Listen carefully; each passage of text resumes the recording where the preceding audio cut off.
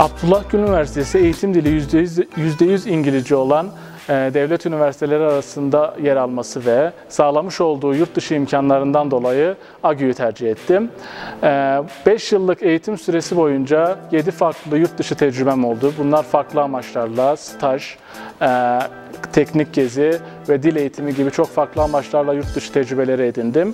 Bunun da e, devlet üniversitelerinde olmayan bir özellik olduğunu düşünüyorum ve eğitim öğretimin dışında bu tecrübelerin de bana çok şey kattığını düşünüyorum. Ayrıca bölümümüzün yapmış olduğu sektörle olan işbirliklerini de e, çok faydalı buluyorum. E, özellikle e, bir seçmeli ders almıştım geçen dönem. Kayseri Ulaşım'la Demiryolu Mühendisliği dersinde.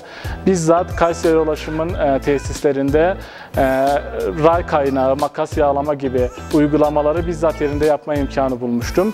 Bunların da mühendislik eğitiminde çok önemli bir yere sahip olduğunu düşünüyorum. AGİ'de okuduğum süre boyunca sağlamış oldukları yurt dışı imkanları, e, Amerika Birleşik Devletleri'nde aldığım dil, e, dil eğitimi ve bunun dışında edindiğim yurt dışı tecrübelerinin e, çok faydalı olduğunu düşünüyorum. Bunun dışında bölümümüz hocalarıyla olan yakın diyalogumuz, laboratuvar imkanlarını çok faydalı buluyorum. Mezuniyet sonrası yapı işletmesi alanında yüksek lisans yaparak mesleğimde uzmanlaşmak istiyorum birkaç yıl özel sektörde çalıştıktan sonra uluslararası bir inşaat firmasında üst yönetici olarak çalışmayı planlıyorum.